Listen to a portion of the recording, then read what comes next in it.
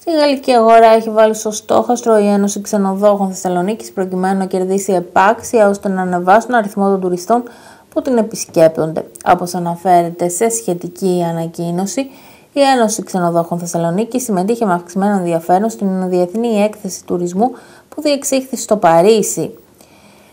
Η Ένωση Ξενοδόχων συμμετείχε επίσης ε, ως συνεκθέτη στο περίπτερο του ΕΟΤ, αν και πήρε για πρώτη φορά μέρος συγκεκριμένη διοργάνωση που αποτελεί μία από τις κορυφαίες της χώρας σε επαγγελματικό επίπεδο. Όλοι οι συμμετέχοντες είχαν ακούσει για τη Θεσσαλονίκη και θέλησαν να ενισχύσουν την πληροφόρησή τους γύρω από τις δυνατότητες που προσφέρει στον τουρισμό. Οι τομείς που απασχόλησαν τη συναντήση ήταν η προώθηση του city break, αλλά και ο θεματικός τουρισμός με έμφαση στη γαστρονομία και τον πολιτισμό ο θρησκευτικός επίσης και συνεδριακός τουρισμός. Η Ένωση Ξενοδόχων Θεσσαλονίκης στοχεύει στους Γάλλους τουρίστες να τους εντάξει σε μια γενικότερη προσπάθεια που έχει ξεκινήσει αναβάθμιση του πελατειακού της προφίλ.